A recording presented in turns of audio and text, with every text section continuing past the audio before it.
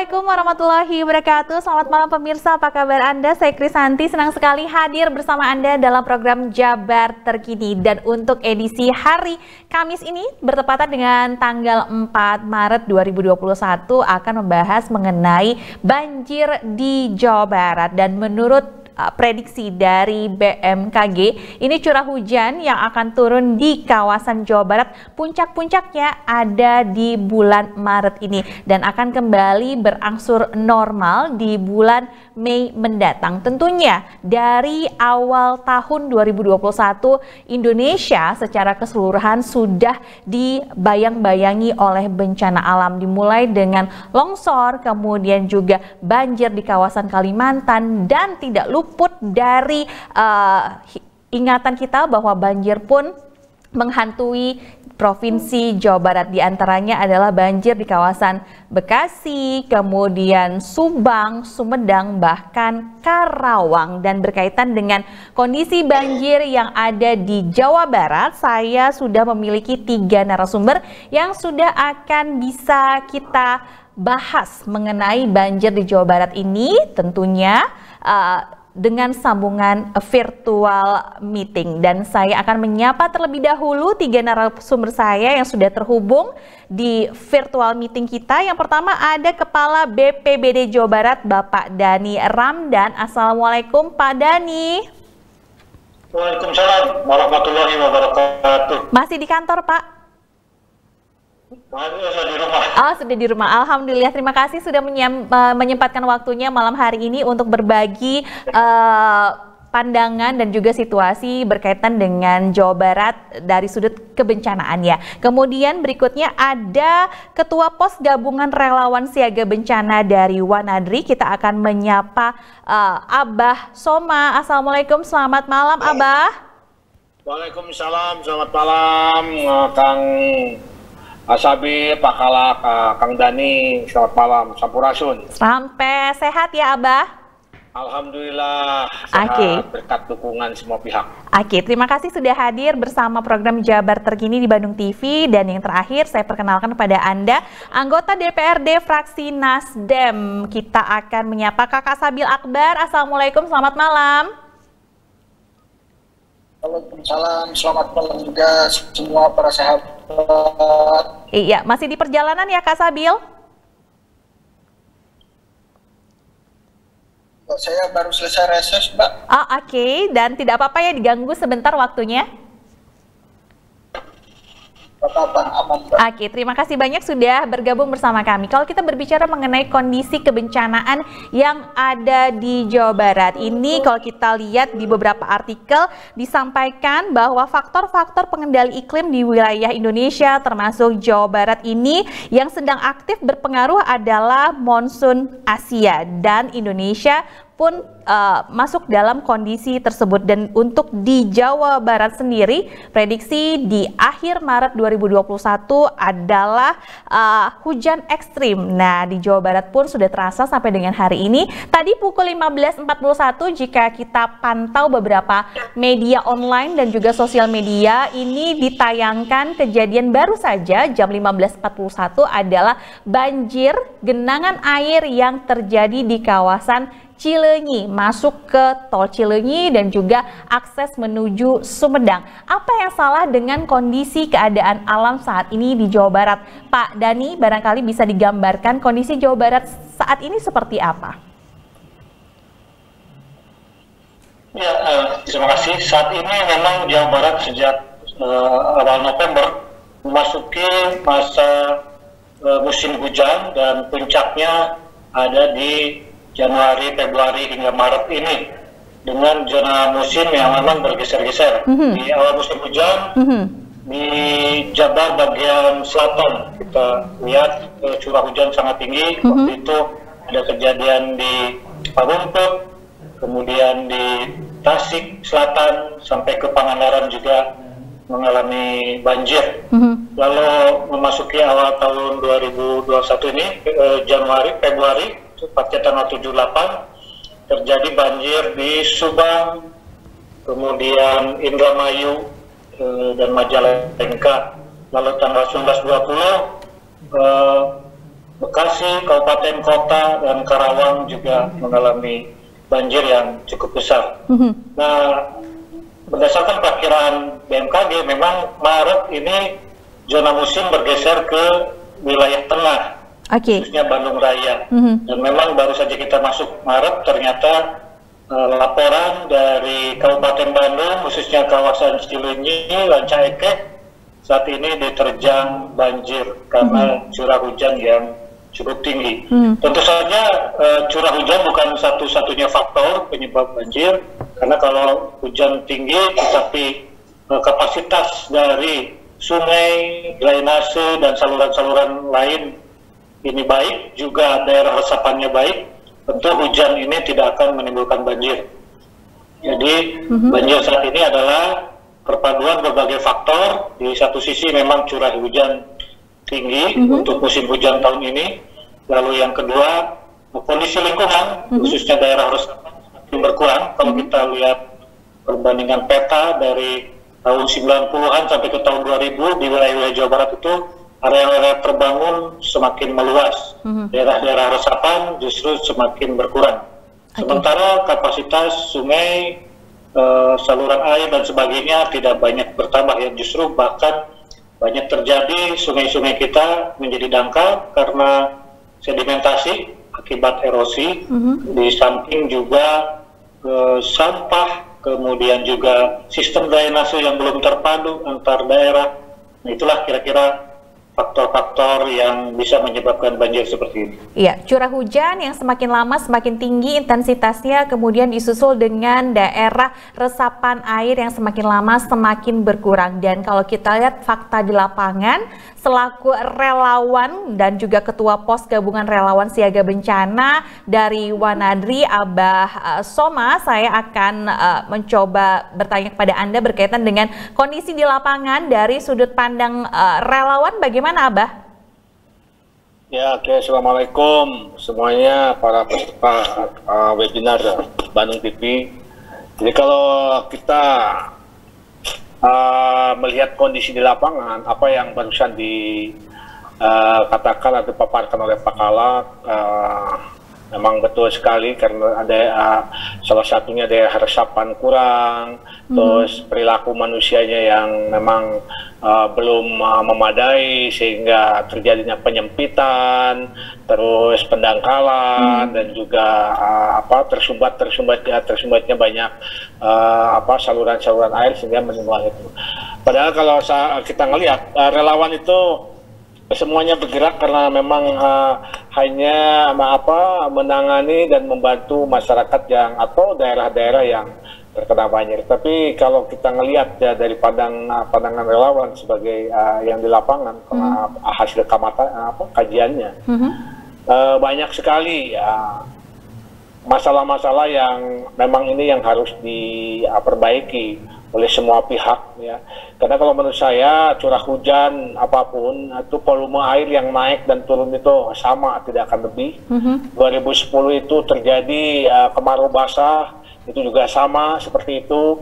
Uh, dan segala macam. Jadi sebelum 2010 mungkin banjir-banjir pernah ada, tapi tidak uh, separah yang memang tahun-tahun sekarang. Mm -hmm. Jadi artinya kalau saat kita melihat ini ya hasil kajian lapangan juga di uh, apa di lokasi banjir itu karena memang apa ulah manusianya terlalu terlalu dominan sehingga apa yang tadi dipaparkan oleh Pak Kalak sebagian besar memang uh, terjadi sumbatan-sumbatan, terjadi uh, apa genangan-genangan.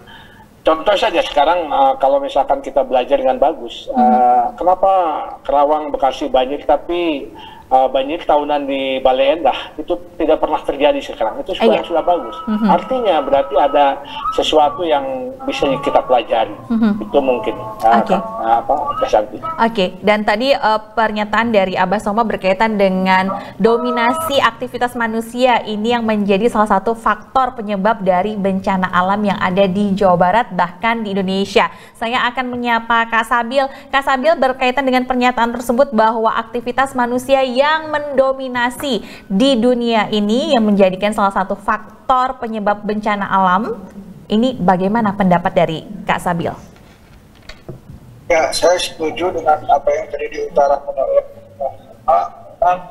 ini adalah salah satu situasi dan kondisi banjir kan mm -hmm. tragedi alam yang tidak bisa diprediksikan dan hal krusialnya seperti apa kita tidak bisa untuk ditafsirkan secara uh, luas. Jadi memang tingkat kesadaran dari masyarakat ini sangat membutuhkan untuk bisa kita minimalisir. Mm -hmm. Dan saya tentu dari Dapil 10 yang mewakili Kerawang Purwakarta dan kemarin kebetulan Pulau Kerawang yang menjadi salah satu dampak yang luar biasa, mm -hmm. di mana di sini dampak di perumahan BNI yang menjadi salah satu publik mungkin bahkan nasional kemarin sampai kemarin Pak Gubernur hadir mm-hmm. bahwa yang jadi persoalan itu memang tingkat kesadaran masyarakat. Saya tidak memungkiri bahwa kondisi COVID ini kan saat ini kondisi yang dan mm-hmm. artinya untuk masyarakat sendiri jangankan untuk bisa memperhatikan masalah banjir untuk bisa antisipasi masalah COVID aja saat ini memang sudah uh, kurang mm-hmm. untuk bisa diperhatikan jadi saya berharap dari pemerintah ini tentunya untuk bisa memberikan program ini ke depan untuk perbaikan ini lebih kepada drainase nanti untuk ditingkatkan lagi mm-hmm. seperti itu. Oke, okay. drainase perbaikannya harus ditingkatkan kembali. Lalu bagaimana dengan uh, kebijakan pemerintah berkaitan dengan fungsi alih uh, lahan, Kang Sabil? Ya, untuk saat ini sih saya rasa pemerintah harus bisa mengambil sikap yang cepat karena ini kan urgensi mm-hmm. tragedi alam yang mampu nanti lebih komprehensif lagi luas karena ini mampu banyak uh, apa namanya uh, kepentingan warga masyarakat yang ada di mm-hmm. daerah masing-masing. Mm-hmm. Oke, kepentingan masyarakat yang selalu digaungkan dan diutamakan oleh para legislator kita pemirsa. Dan bagaimana kepentingan dan keamanan dari para pengungsi yang tentunya terakhir kita lihat bahwa Karawang dan Bekasi menjadi salah satu lokasi yang uh, begitu luas untuk uh, area yang memang dikenai bencana banjir. Kita akan beralih ke Pak Dani. Kita akan coba update bagaimana situasi dan juga kondisi para pengungsi khususnya yang ada di kawasan Bekasi dan juga Karawang. Uh, Pak Dani. Ya, untuk daerah Bekasi uh, yang masih di pengungsian itu adalah uh, tinggal penduduk yang memang berada di uh, kebayuran, mm-hmm. khususnya di lokasi tanggul jebol e, Sungai Citarum, karena memang rumahnya yang lima unit itu tersapu habis, lalu 15 unit lainnya rusak berat mm-hmm. dan sedang. Mm-hmm. Nah, inilah yang saat ini masih di pengungsian, ada di tempat pengungsian yang kita siapkan di bangunan SD di dekat titik itu, ada juga yang ikut di sanak pemilik. Mm. Sedangkan di daerah-daerah lainnya yang kemarin rendaman itu mencapai ada hampir 20 kecamatan itu seluruhnya sudah kembali ke rumah masing-masing. Mhm. Demikian juga yang di Karawang seluruhnya sudah kembali ke rumah masing-masing dan uh, mudah-mudahan kalau situasi tidak uh, hujan tidak terlalu besar lagi, mm-hmm. ini banjirnya bisa kita kendalikan karena uh, tanggul-tanggul jebol kemarin yang mengakibatkan banjir yang luas tersebut sudah kita lakukan perbaikan meskipun masih dalam situasi darurat, perbaikan mm -hmm. darurat. Jadi dengan uh, geobek, kantung-kantung pasir mm -hmm. yang sangat besar ukurannya bisa menahan air. Nanti di memasuki musim kemarau kita akan lakukan perbaikan permanennya untuk tanggul-tanggul okay. tersebut. Mudah-mudahan saja masih bisa bertahan sampai hmm. akhir musim hujan ini. Oke. Okay.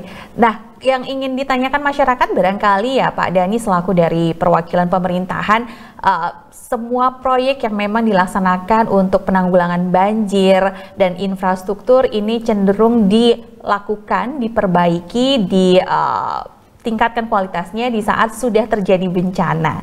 Apa yang memang diperhatikan uh, oleh pihak pemerintah berkaitan dengan hal tersebut?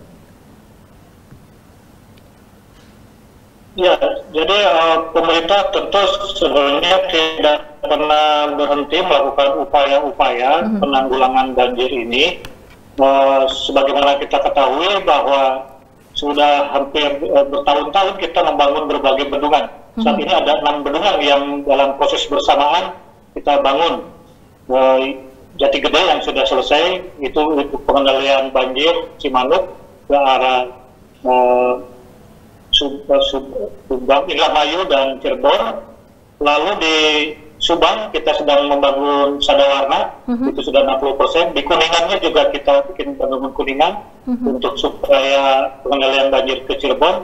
Lalu di Ciawi, ya, ya itu ada dua bendungan untuk pengendalian Sungai Ciliwung. Uh-huh.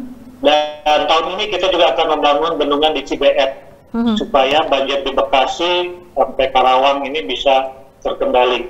Okay. Di luar itu juga kita membangun puluhan folder uh-huh. atau kolam-kolam retensi. Ada yang sudah 100%, ada yang memang masih dalam proses. Uh-huh. Lalu uh, sodetan-sodetan, uh, terowongan atau curug Cijompong. Uh-huh. Nah itu semua adalah upaya-upaya dari sisi mitigasi struktural. Namun tentu saja itu tidak akan cukup uh, karena tadi persoalan intensitas hujan yang semakin tahun semakin tinggi, ya. kemudian juga daerah resapan semakin kecil, sehingga run off air jika di masa lalu hanya 10% turunnya mm-hmm. air hujan yang mengalir ke sungai, mm-hmm. saat ini rata-rata di Jawa Barat sudah di atas 50% air okay. hujan itu langsung lari ke sungai. Mm-hmm. Maka sementara sungai-sungai kita kapasitasnya seperti itu uh, ada yang memang diperlebar, dinormalisasi, tapi juga banyak juga yang mengalami pendangkalan. Mm -hmm. Maka sangat uh, logis kalau terjadi uh, limpas air meluap mm -hmm. ke daerah-daerah di pinggiran sungai, bahkan jauh ke permukiman di tengahnya. Nah itu harus diikuti dengan mitigasi non struktural. Mm -hmm. Jadi kalau tadi bendungan, penguatan tanggul, sodetan ya, tanggul mm -hmm. itu uh, struktural, nah per, mitigasi non strukturalnya apa ya tadi yang disampaikan oleh Kang Soma, uh, Kang Sabil juga perilaku masyarakat mm-hmm. yang lebih mengurangi risiko banjir dengan cara tidak mengalih fungsikan lahan, menebang pohon, dan tidak membuang sampah ke sungai atau tempat tidak semestinya. Sebenarnya ya, iya, sebenarnya mudah untuk bisa merelasikan uh, kebiasaan-kebiasaan yang diharapkan uh, berdampak baik bagi lingkungan masyarakat ya Pak Dani, tapi acap kali kita menemukan bahwa ada saja masyarakat yang membuang sampah ke sungai, kemudian juga menutup trotoar sehingga tidak ada drainase, bahkan membuang sampah-sampah dengan ukuran besar langsung ke sungainya. Nah, bagaimana cara pemerintah untuk terus mengedukasi masyarakat? Apakah kita harus meniru masyarakat luar negeri dengan kebiasaan yang luar biasa menjaga lingkungan? Kita akan simak perbincangannya usai jeda tentunya dalam program Jabar Terkini.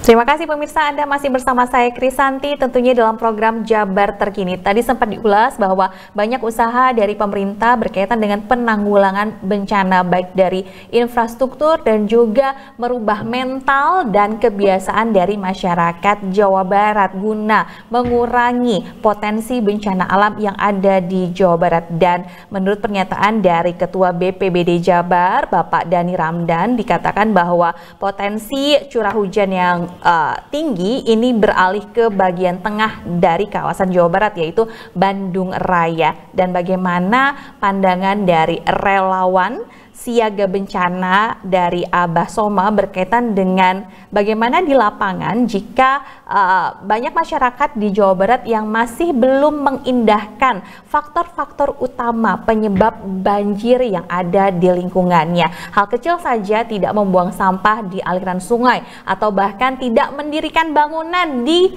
uh, kawasan drainase dan ini sering kali kita lihat bahwa uh, bangunan-bangunan semi permanen ini berdiri tentunya menghalangi drainase yang ada. Abah Soma masih bersama saya ya Abah?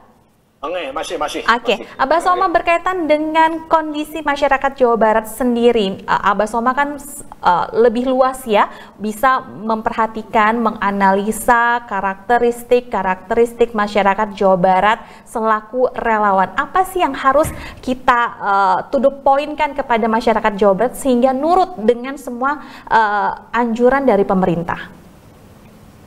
Ya, kalau mau pengalaman di lapangan. Uh mhm. Ya memang pemerintah harus atau semua ya, hmm. ya semua unsur elemen stakeholder yang uh, karena um, bencana ini kan milik bersama yeah. semuanya harus turun harus turun memberikan edukasi mm -hmm. kepada masyarakat, contoh langsung mm -hmm. dan segala macamnya itu harus ada ketegasan, ketegasan dalam hal penerapan regulasinya. Karena uh, selama kami di lapangan ada saja yang mm -hmm. melanggar, yang membuang dan segala macam, ya akhirnya beralih kepada hal-hal klasik misalnya. Terus kami bagaimana uh, membuang sampah terus harus di mana? Uh-huh. terus bagaimana kami tidak melakukan hal ini? Nah hal-hal seperti itu itu kami banyak banyak uh, apa banyak menerima banyak uh, mendapat pernyataan-pernyataan di masyarakat yang ada. Jadi intinya bahwa kita harus kolaborasi bagaimana mengedukasi masyarakat supaya tidak tidak minimal mendominasi uh, apa tambah parahnya eh, kondisi-kondisi uh, sehingga menyebutkan uh, banjir atau masalah yang uh, lebih uh, besar lagi itu itu harus Uh, contoh lah misalkan uh, di beberapa sungai kan kita banyak drainase drainase yang mm -hmm. tersumbat gitu yang misalkan di daerah Tegaluar, Rajawati, bah, daerah ke, apa Cicalengka, Rancaike semuanya itu saluran-salurannya tersumbat mm -hmm. oleh ya uh, hampir sebagian besar dari uh, ya kesumbatannya itu dari sampah atau dari tadi ya yang disebutkan uh, apa apa sedimentasi sehingga yeah. air itu masuk ke sumbatan ini.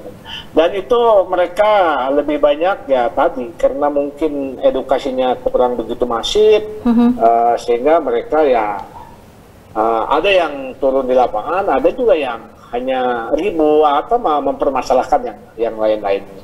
Jadi itu. Jadi kalau menurut saya harus ada kolaborasi kolaborasi semua pihak untuk memberikan edukasi kepada masyarakat tentang bagaimana merubah uh, apa mindset masyarakat jangan buang sampah jangan menyempitkan sungai uh, jangan uh, apa menutup uh, drainase drainase bahkan mungkin juga dari pemerintah saya juga ke pemerintah apa masalah drainase. Drainase di kita itu di kota Bandung terutama khususnya itu drainase yang tidak menyerap air okay. tapi dia melempar air sehingga uh, air itu bertitik di satu tempat sehingga menjadikan uh, tadi genangan yang sangat besar. Mm-hmm. Harusnya kan konsep-konsep drainase itu juga harus ditinjau kembali sehingga serapan-serapannya banyak sehingga mengurangi tadi lemparan air yang uh, lebih banyak ke titik yang terendah. Itu juga uh, salah satu mungkin uh, uh, apa selain edukasi masyarakat juga pemerintah regulasi dan uh, pembangunan pembangunan drainasenya harus uh, konsepnya harus bermitigasi.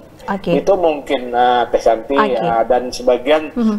pasukan kita dari relawan yang tergabung maupun yang tidak tergabung itu semuanya sudah uh, apa sudah ada di tempatnya masing-masing mm -hmm. uh, yang memberikan uh, apa bantuan kepada masyarakat. Oke, okay. konsep ideal dari drainase yang sebaiknya diadaptasi uh, di Kota Bandung bahkan di Provinsi Jawa, Jawa Barat ini seperti apa Abah versi Abah sehingga tentunya ini bisa memberikan masukan kepada pihak terkait nantinya tidak mengulangi lagi konsep drainase yang saat ini uh, dibangun.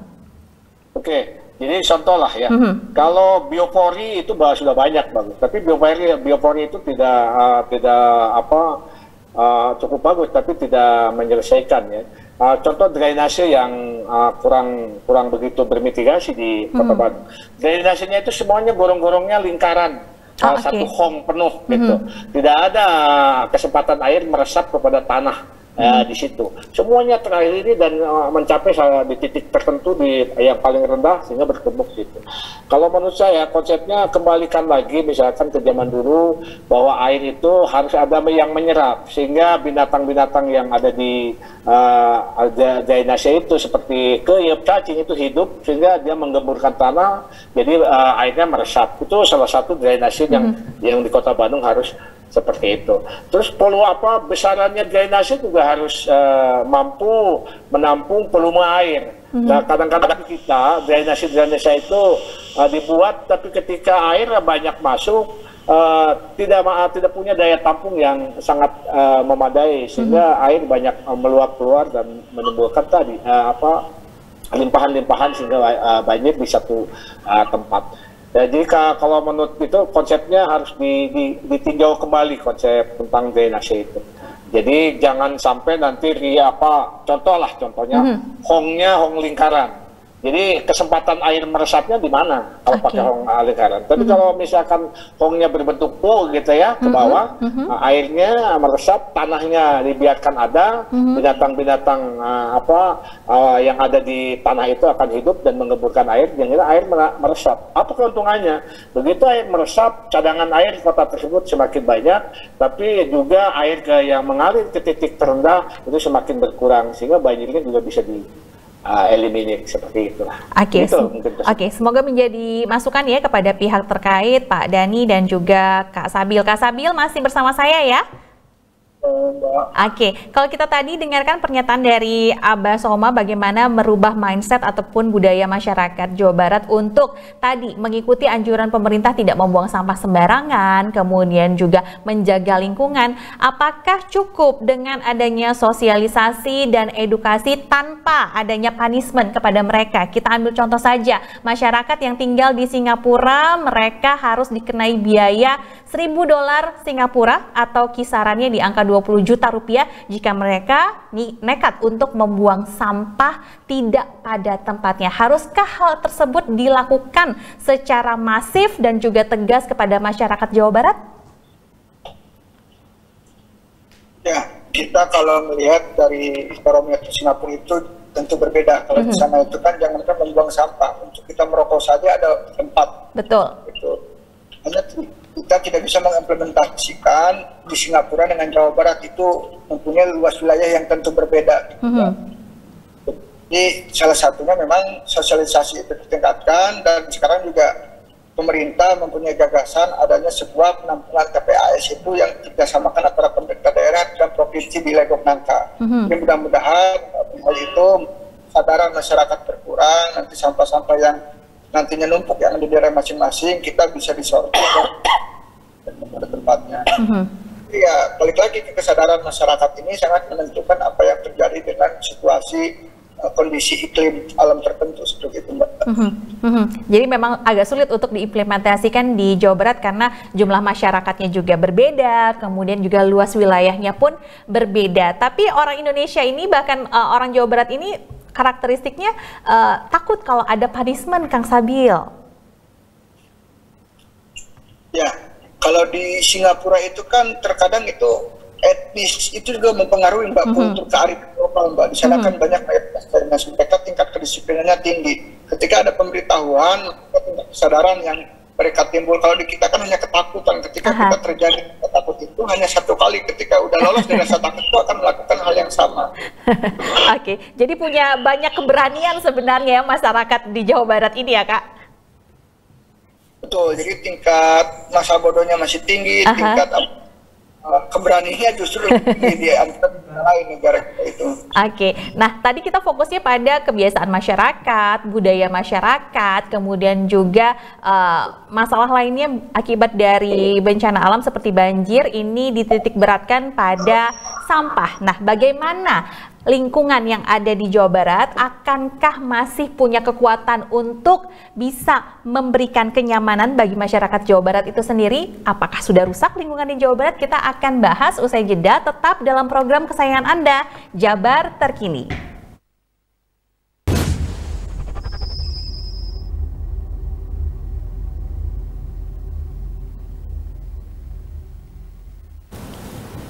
Iya, Program dari Jabar Terkini kali ini membahas berkaitan dengan banjir di Jawa Barat. Ini bencana alam sudah menghantui Republik ini sejak awal tahun 2021 tidak terkecuali Jawa Barat, Sumedang, Subang, Bekasi, Karawang, dan juga Bogor. Sejak tahun 2019 ini catatan dari Walhi memang menyatakan bahwa kerusakan lingkungan dan juga pencemaran dari das di Jawa Barat semakin lama tidak berkurang, tidak mengalami penurunan, bahkan cenderung mengalami kenaikan. Dan sejak tahun 2019 pun, Kepala Badan Nasional Penanggulangan Bencana Letjen Doni Monardo meminta Jawa Barat untuk mengendalikan kerusakan lingkungan yang semakin masif. Karena semua bencana di Jawa Barat uh, ada. Mulai dari banjir, puting beliung, tanah longsor, gunung Merapi sampai dengan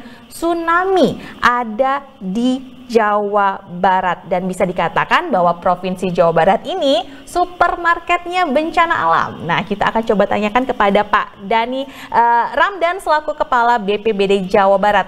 Pak Dani, benarkah statement yang menyatakan bahwa Jawa Barat itu adalah supermarketnya bencana alam dan tingginya kerusakan lingkungan salah satunya dipicu oleh penambangan. Silahkan Pak Dadi. Ya, kalau disebut supermarket, ya mungkin karena tadi semua jenis kebencanaan di Indonesia ini ada di Jawa Barat. Mm -hmm. Kenapa? Karena memang topografi dan kondisi alamnya memang di hampir di seluruh dunia fenomenanya kalau daerah-daerah yang pemandangannya indah, tanahnya subur, itu cenderung juga ada potensi bencana di dalamnya gitu. Itu uh, bisa dicek di luar negeri juga seperti itu. Mm-hmm. Persoalannya adalah apakah dengan ada potensi bencana itu maka kita menjadi daerah yang terbelakang ya mm-hmm. karena bencana. Tentu kalau tidak dimanage dengan baik akan seperti itu. Mm-hmm. Tapi kalau kita lihat Jepang yang selalu dijadikan kiblat itu itu uh, lebih intensitas bencananya lebih tinggi ya. -huh. uh, gempanya, angin topannya, badai, kemudian tsunami tsunami-nya ya? itu juga terjadi di Jepang. Tapi kita lihat apakah masyarakat Jepang menjadi miskin, uh, menjadi tidak berdaya, -huh. malah sebaliknya kalau kita lihat mereka maju teknologinya, maju industrinya. Karena apa? Karena kebencanaan membuat mereka punya budaya tangguh bencana. Iya. Nah itulah yang ingin kita wujudkan di Jawa Barat mm-hmm. dan diawali dengan tadi uh, sikap dan perilaku kita terhadap lingkungan. Mm-hmm.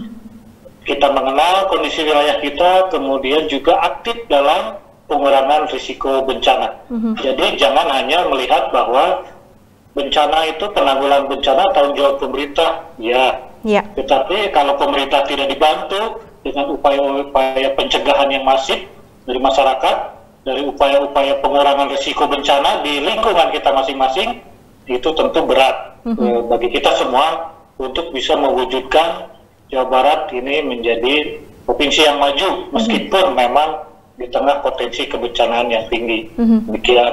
Oke, okay. walaupun memang uh, dari segi kebencanaan semuanya ada lengkap di Jawa Barat, ya. tapi justru ini menjadi salah satu faktor motivasi kita untuk seperti masyarakat yang ada di Jepang, mereka punya uh, jiwa fighter, punya jiwa yang tangguh untuk bisa menghadapi bencana alam yang sering terjadi di negara mereka. Lalu banjir yang sempat menerjang kawasan Bekasi dan Karawang. Kalau kita lihat bahwa dua kawasan ini merupakan kawasan industri yang pastinya memiliki investor yang luar biasa menanamkan modalnya berindustri di kawasan tersebut.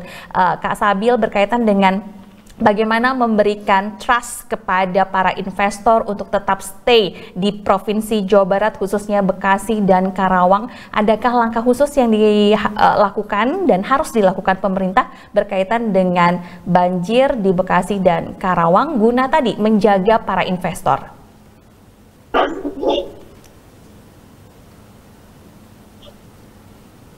Kasabil?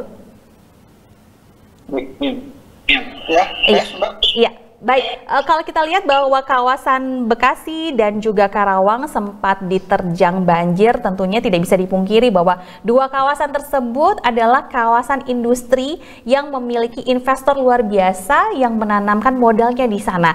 Kemarin terjadi banjir, nah bagaimana untuk kita bisa menjaga trustnya mereka untuk tetap berinvestasi di Jawa Barat? Ada langkah khusus tidak, uh, Kak? Ya, letak geografis tentu menjadi persoalan apabila berdempetan antara kabupaten satu sama lain. Saya contohkan kayak hmm. Karawang dan Bekasi. Jadi perbatasan itu terkadang menjadi kendala untuk uh, para pemerintahnya itu acuh ketika berbatasan dengan daerah yang lain. Jadi okay. tentu harus ada kolaborasi yang linier antara pemerintah uh, dari mulai tingkat eksekutif, legislatif, juga kolaborasi antara provinsi dan pusat. Mm-hmm. Karena ada persoalan-persoalan yang memang tidak bisa ditanggulangi itu hanya oleh ranah kabupaten. Jadi mm-hmm. perlu sinergis antara adanya provinsi, pusat dan kabupaten agar semua bangunan itu bisa terjaga dan sesuai dengan komposisinya masing-masing. Mm-hmm.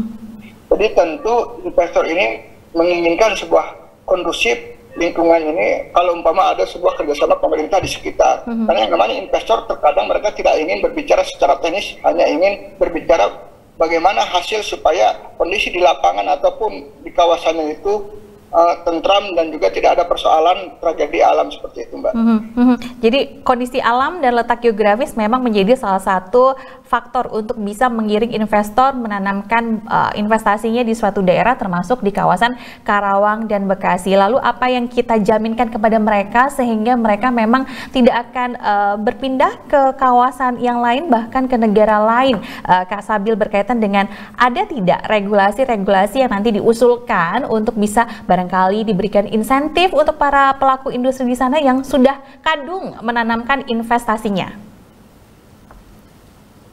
Ya, saya pikir kalau umpama yang investasi di Jawa Barat, Mbak, mm -hmm. meskipun dengan UMR yang cukup tinggi di Kerawang, mm -hmm. karena uh, tingkat kesadaran dari mulai para pekerjanya yang kerja di industri masing-masing sudah mempunyai tingkat kesadaran yang tinggi, jadi walau bagaimanapun terkadang walaupun banyak yang expand investor dari Jawa Barat keluar tetap akan balik lagi ke Jawa Barat. Nah, saya salah satunya contohnya kan kayak Batang, mm-hmm. di mana para investor itu banyak yang beralih lagi ke Jabar mm-hmm. karena di sana tingkat minim SDM-nya itu sangat mempengaruhi, mm-hmm. sangat mempengaruhi produksi di dalam uh, industri itu sendiri, Mbak.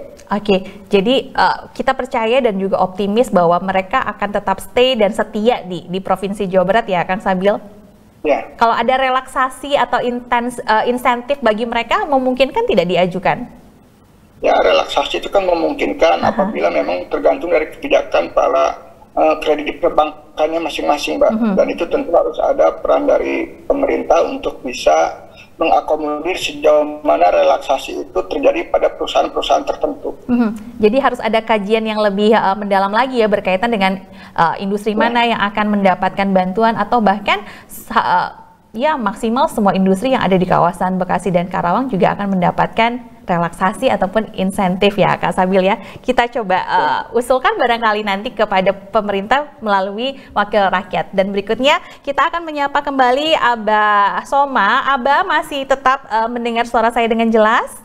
Masih, masih. Oke, okay. Abah berkaitan dengan tadi, uh, haruskah pemerintah memberikan insentif ataupun relaksasi bagi para pemilik modal yang ada di kawasan Bekasi dan juga Karawang? Atau ya sudah cukup saja pemerintah fokus pada para pengungsi? Ya, saya kira saya juga kurang begitu paham ya masalah perusahaan terhadap itu, tapi intinya bahwa ketika uh, corporate tersebut uh, membangun sesuatu di daerah tersebut, ya minimal dia bisa memberikan satu kesejahteraan uh, di ring satunya hmm. lah seperti itu. Apakah kesejahteraan itu dia bisa memberikan kemudahan-kemudahan yang lain ataupun lingkungannya juga dalam Iya, Abah, sepertinya ada gangguan sinyal. Iya, kalau kita lihat bahwa kawasan Bekasi dan juga Karawang ini memang kawasan Apakah itu insentif Aha. atau apa?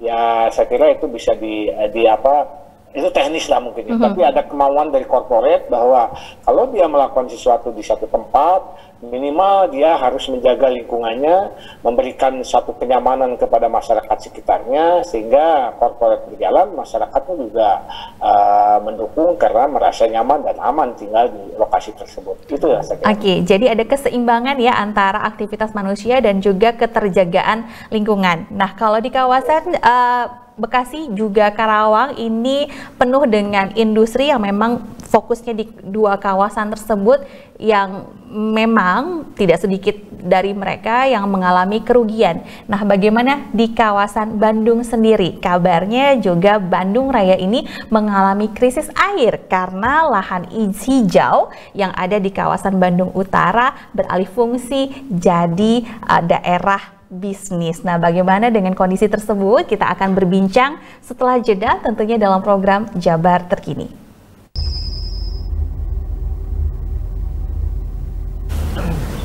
Pemirsa, ini segmen terakhir kita membahas berkaitan dengan banjir di Jawa Barat. Masih bersama ketiga narasumber saya, Kepala BPBD Jawa Barat, Pak Dani Ramdan, kemudian ada Ketua Pos Gabungan Relawan Siaga Bencana, Abah eh, Soma, dan juga anggota DPRD fraksi Nasdem, ada Kak Sabil Akbar. Berkaitan dengan uh, kawasan industri Bekasi dan Karawang yang terkena bencana banjir, kita akan coba bawa Anda mengingat kembali bahwa kawasan Bandung Utara pun mengalami hal yang serupa bukan uh, kawasan industrinya yang harus diperhatikan, tapi kawasan lingkungan alamnya. Karena memang serapan air dan juga mata air yang ada di kawasan tersebut ini sudah dalam kondisi kritis dan kawasan tersebut sudah beralih fungsi menjadi areal bisnis dan juga perumahan. Pak Dani Ramdan berkaitan dengan uh, ber rubahnya alih fungsi lahan yang ada di kawasan Bandung tentunya ini menjadi PR kita bersama ya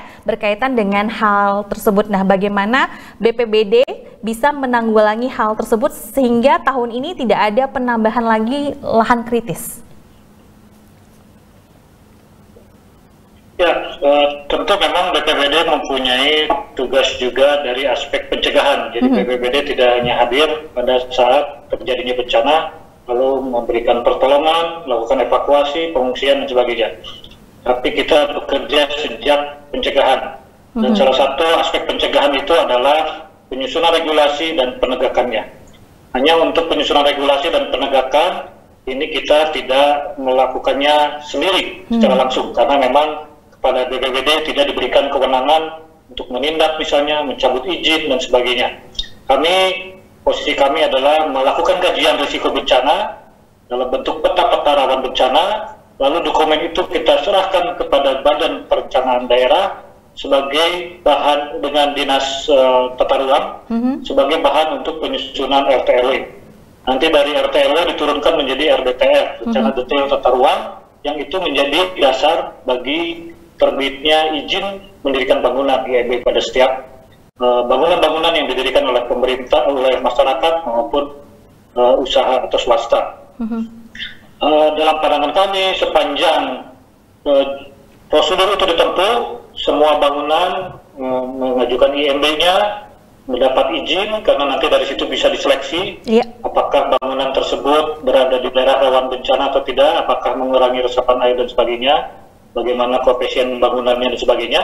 Kalau itu dipenuhi, harusnya Bandung Utara maupun kawasan lain tidak menjadi lahan kritis. Uh-huh. Tetapi sepanjang masyarakat uh, tetap tidak mengindahkan aturan ini, GMB kemudian juga memang penegakannya di tingkat kabupaten kota sebagai institusi yang mengeluarkan izin ini tidak dikerjakan, tentu saja pelanggaran demi pelanggaran akan terjadi. Jadi hmm. artinya ini perlu kolaborasi semua pihak. Kami bagian dari kajiannya, risikonya memberikan rekomendasi, lalu nanti uh, para bupati wali kota membuat RTW, DTR dan IMB-nya, lalu juga dikontrol uh-huh. oleh aparat uh, penegak perda, yaitu Satpol PP, bisa juga dibantu oleh aparat hukum lainnya. Nah kalau itu ditempuh, insya Allah uh, lahan kritis di mana pun dan juga daerah-daerah rawan bencana uh, tidak boleh dibangun sehingga tidak menimbulkan potensi kebencanaan berikutnya. Oke. Okay. Begitu, Mbak. Usaha pencegahan terus dilakukan oleh pemerintah ya Pak Dani dan ah. semoga ini terrealisasi dan hasilnya maksimal. Kita akan coba uh, menyapa kembali Kak Sabil Akbar selaku anggota DPRD fraksi Nasdem berkaitan dengan rusaknya lingkungan dan juga rusaknya ekosistem yang ada di Jawa Barat. Apa yang akan Anda lakukan selaku legislator berkaitan dengan hal tersebut Kak Sabil?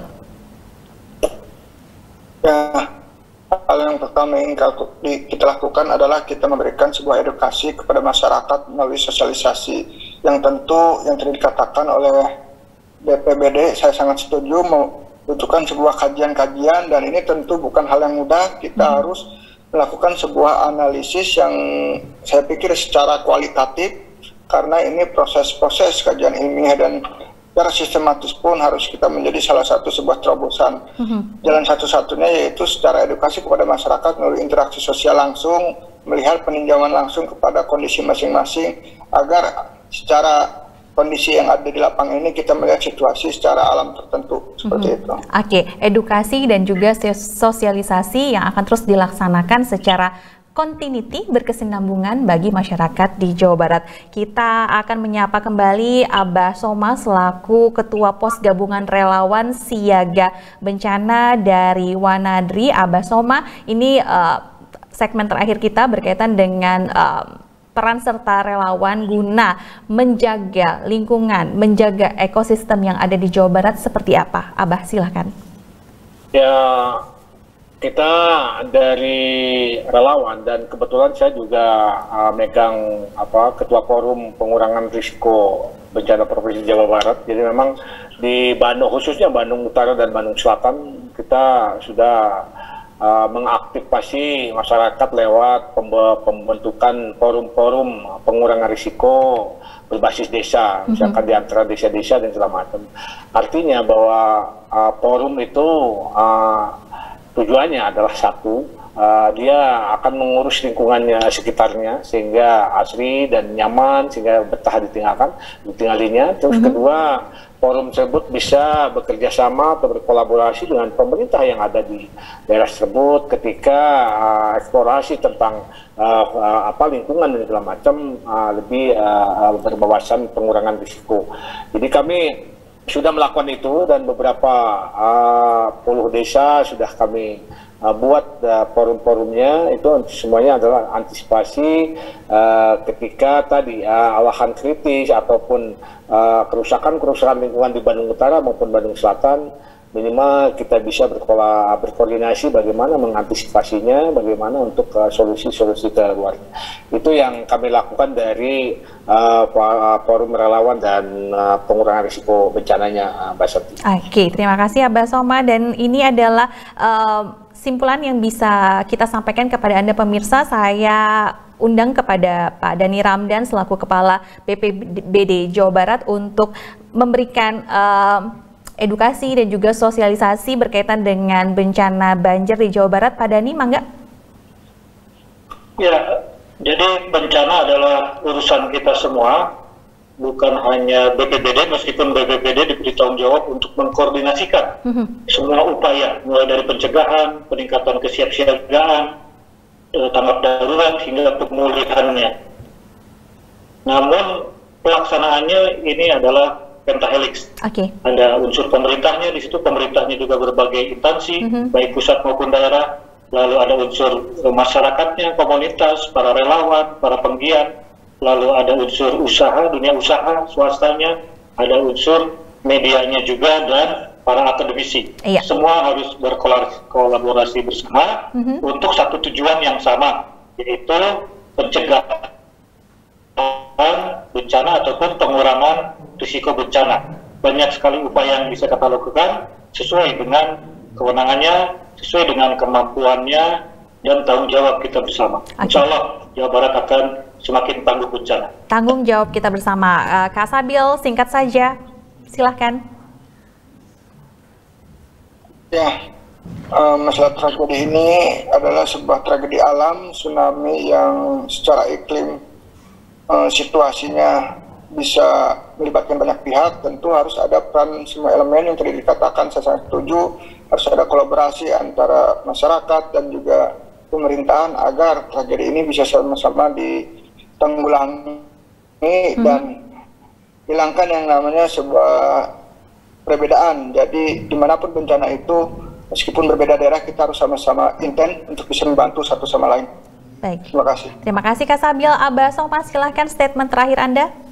Ya, saya setuju bahwa penanggulangan atau penanganan bencana adalah urusan bersama dan terutama keselamatan rakyat itu harus nomor satu keselamatan rakyat harus nomor satu. Terima kasih Bapak-Bapak sudah bergabung bersama saya kurang lebih satu jam dalam program Jabar Terkini. Selamat menjalankan tugas dengan baik dan juga maksimal demi kepentingan masyarakat di Jawa Barat. Hatur nuhun sekali lagi jaga kesehatan dan juga tetap optimis bahwa supermarket bencana alam bukan di Jawa Barat dan butuh adanya sinergitas antara masyarakat dan juga pemerintah guna mewujudkan lingkungan yang jauh dari bencana bencana alam, kerusakan lingkungan, berubahnya ekosistem, penambangan liar, bahkan alih fungsi lahan menjadi salah satu faktor utama penyebab bencana alam yang ada di sekitar kita. Terima kasih Anda sudah bersama saya Krisanti selama satu jam.